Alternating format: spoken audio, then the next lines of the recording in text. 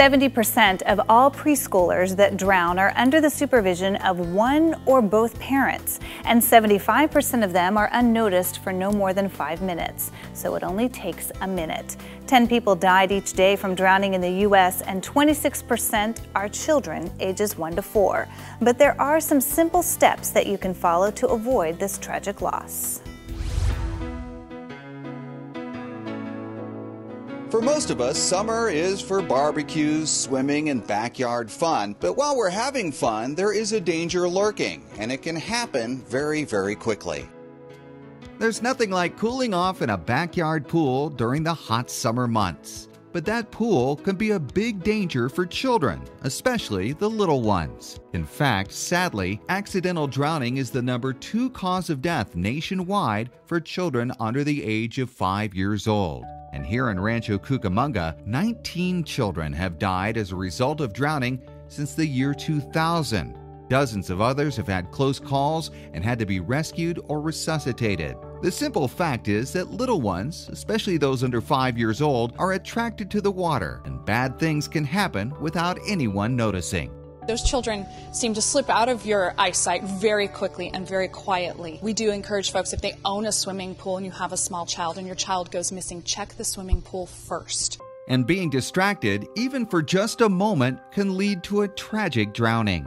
It can happen very quickly in as little as three seconds, and quite often parents believe that they will hear their child struggling in the water if they are in danger. They'll hear a splash, they will hear a scream, but quite often that's not the case. Children actually will slip under the water and struggle for some time without making a sound at all.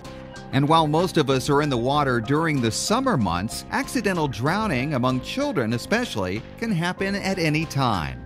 What we found here in California, and specifically in Rancho Cucamonga, is that drownings occur year round. It's no longer just a summertime thing. And unfortunately, we need parents and caregivers and homeowners with pools to keep that in mind at all times, that that backyard swimming pool can present a very serious danger on a daily basis. With those startling facts in mind, First Five and the Rancho Cucamonga Fire Protection District urge parents and anyone with a pool or spa to know the ABCs of water safety.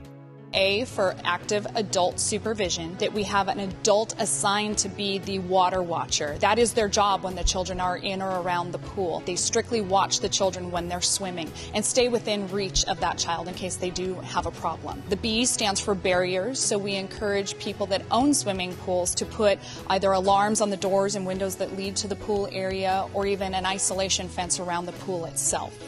And then the C of ABC stands for classes, both swimming and CPR classes. And while all three of the water safety ABCs are important, adult supervision is crucial. And when it comes to adult supervision of kids around the pool, it can be confusing as to who is actually watching them, especially during a party or other large gathering. So, the Rancho Fire Department provides a simple tool to make it easier to keep kids safe.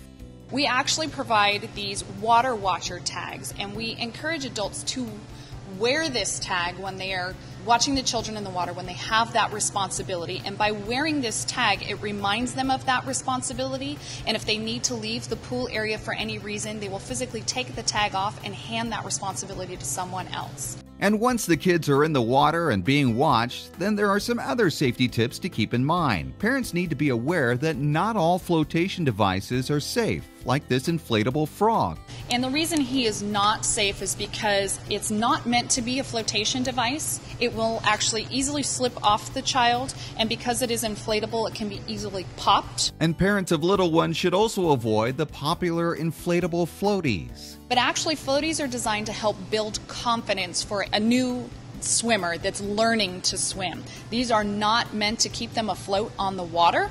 And so we find parents again will rely on these as a security blanket, if you will, and it actually provides a false sense of security. So, what should parents of young children and toddlers use around the pool? The Rancho Cucamonga Fire Department strongly urges parents to use Coast Guard approved flotation devices. There's the traditional, what we call life vest or a personal flotation device, and then there's this new version uh, more for the younger kids, the toddlers.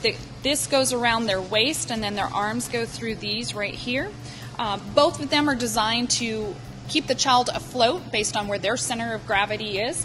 And you'll notice that unlike the flotation devices I just showed you, these cannot pop. They cannot slip off, they buckle on, they stay pretty secure, and they are U.S. Coast Guard approved. For more information on water safety, you can go to the Fire Department website or call the Fire District Public Education Office. Group presentations are available. I'm David Wiley for Healthy RC Living.